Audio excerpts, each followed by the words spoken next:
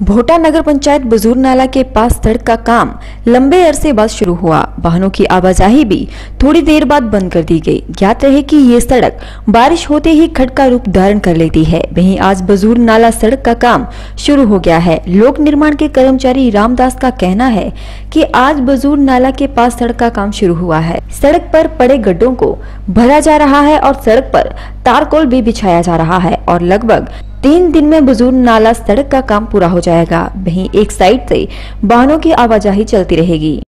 ये जो काम शुरू हुआ आज ये कब तक चलेगा बजू नाला का? ये दो दिन चल जाएगा तीन तीन तीन तीन दिन लग जाएँगे।